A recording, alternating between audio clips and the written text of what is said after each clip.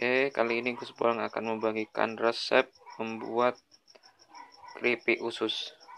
Bahan-bahannya yang pertama ini usus usus ayam yang sudah Gus Bolang yang sudah kita ketok kecil-kecil. Bahan-bahannya tepung tepung beras, minyak goreng, tepung terigu, penyedap rasa, garam, lada bubuk, ketumbar, dan bawang putih. Selanjutnya, cuci bersih, dan sebentar lagi kita akan membuat bumbunya. Hmm, ini bumbu yang sudah kita ulek, kemudian tambahkan air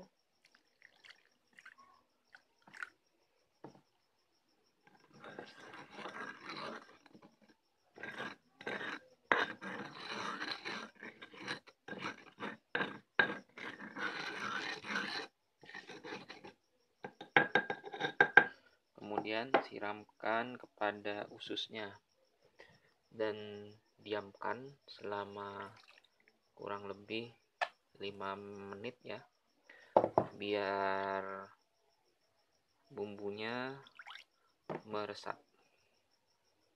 Oke. Oke ini adalah tepung terigu ya tepung terigunya sebanyak satu on misalkan perbandingannya ya.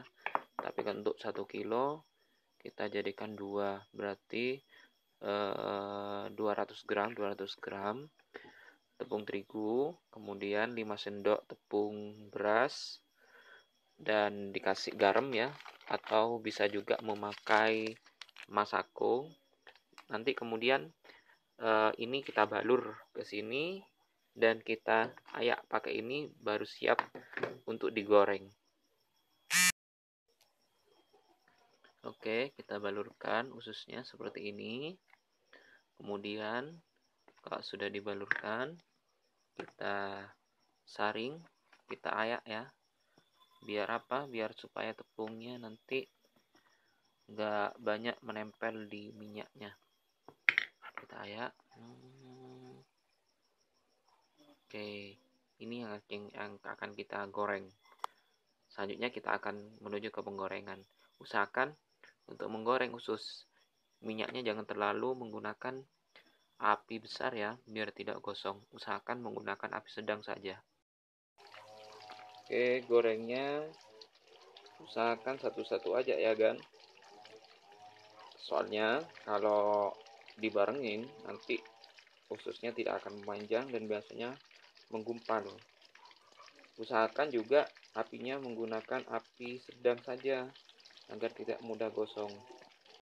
Nah, ini usus hasil akhir. Hasil akhir yang kebarusan yang buat buat usus ya. Rasanya mestinya enak dan tentunya kriuk. Jangan lupa kunjungi channel Gus Bolang, terus subscribe dan jangan lupa like and share. Sampai jumpa.